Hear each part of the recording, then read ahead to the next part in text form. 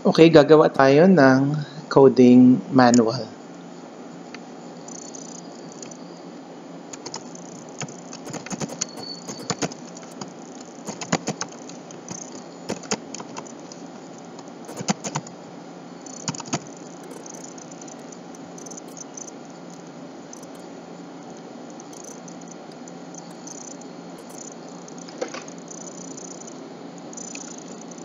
So yung unang variable sa ating questionnaire ay name. Ang label natin sa kanya ay name din, code as is. Ibig sabihin, kung ano yung nakasulat, yun ang ating ilalagay. Pangalawa ay name of school. So siguro NOS tayo. Name of school. So kung ano rin yung nakalagay, yun yung ating uh, isusulat. And then we have age. So age in years as of last birthday.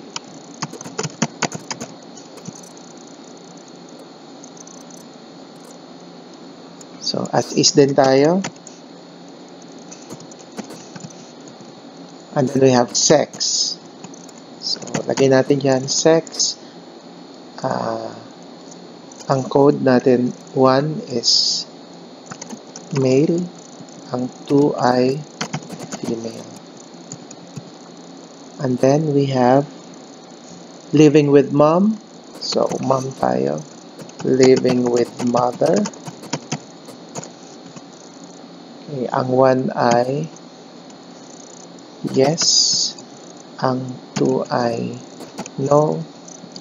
Ang 3 ay others. And then, living with father. So, dad tayo. Living with father, ganun din ang 1 ay yes. Ang 2 ay no. Ang 3 ay others. Then, yung questions about mom. No, mom support. So, we have mom support 1. So, my mother seems to know how, how I feel about things. So, my mother, okay, and so on and so forth. So, later, pwede nyo yung i-encode sa SPSS. So, yung ating code dito ay as is. 1, 2, 3, 4, 5, 6, 7 wala tayong code kasi may nasa gitna eh. So magmimin lang tayo dyan eventually. Okay so yan ay mom soup 2 hanggang 9 puro as is siya. Pep sumobra. Yan. So ganun din as is tayo and then we have dad support. Dad soup 1 dad soup 2 hanggang 9 din. So yun yung ating codes. Then as is din siya.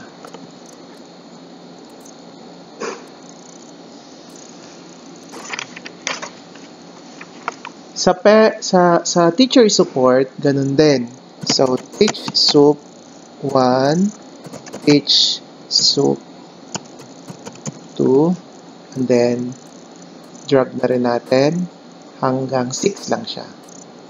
So, as is na rin. And then we have motivation. May 25 items tayo. So, pwede tayong motive 1. Kaya lang, mayroon na siyang mga meaning, no, yung mga codes. So, yung Z, ang, ang 0, ang label niya ay, ang value niya ay never, ang 1 ay rarely, ang 2 ay sometimes, ang 3 ay often, ang 4 ay always. So, it's a 4 to 4. So, it's a 5-point Likert scale naman. So, for example, the science I learned and so on and so forth. So this code is true for the rest of the items in the motivation scale. So motive 1, 2, 3 hanggang 25. 15, 16, 22, 23, 24, 24, 25. Ayan. So we're going to uh, label this now as coding manual. So that's it. And then we can save na. Kung saan nyo siya gustong i-save.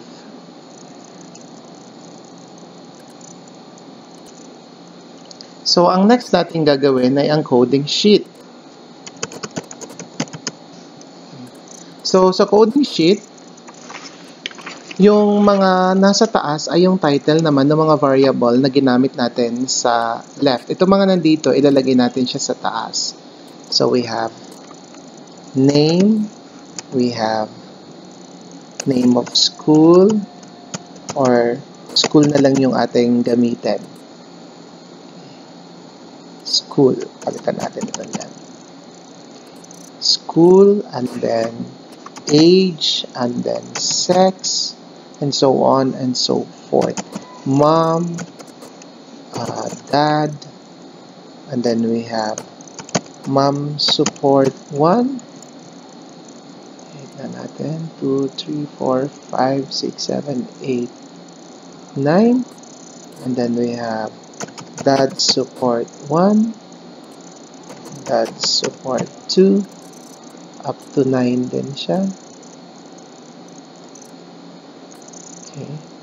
So, pwede siguro natin i-freeze itong uh, frame dito. So, view, freeze pane. Dito banda para uh, kahit mamaya mag-encode tayo ay hindi nawawala. And then we have teacher support, teach 1 to 6.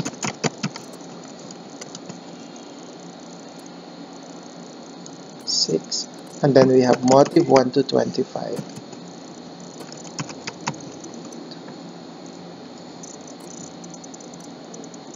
25. Ayan. Motive 1 to 25. So, ready na tayong mag-encode. Kaya lang, mayroon tayo dyang mga data na uh, kailangan ng value. Pero later na natin siya uh, ayusin. So, we have, let's start. Itong sisimulan ko. Hindi ko mabasa ang pangalan ano to, Janes Malido. Ayan. Siguro tigyan natin ng number, no? Para lang makita natin kung ilan na tayo yung respondent numbers. This is respondent number 1, number 2. So, lagyan natin ng R number. So, we can uh, number as we go or pwede tayong lagyan kagad natin ng number. So we have Janes Malido.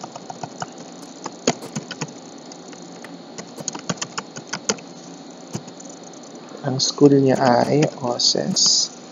And then ang age niya ay 10. Ang sex niya ay male. So that's 1. Ang mom, yes, 1. Okay, 1. Sa support, okay, 7 seven, one, seven, five, four, seven, seven, seven. Supportive si mama. Have seven, seven, one. Then seven, five, four, seven, seven, seven. And then So, teachers, 7, 7, 7, 1, 7, 7. Sa motivation, we have 4, 4, 4, 4, 2, 4. Ilang 4 ito? 1, 2, 3, 4, 5. Apat 4. 2, 3, 4, 5. Sa motive 11 tayo. 2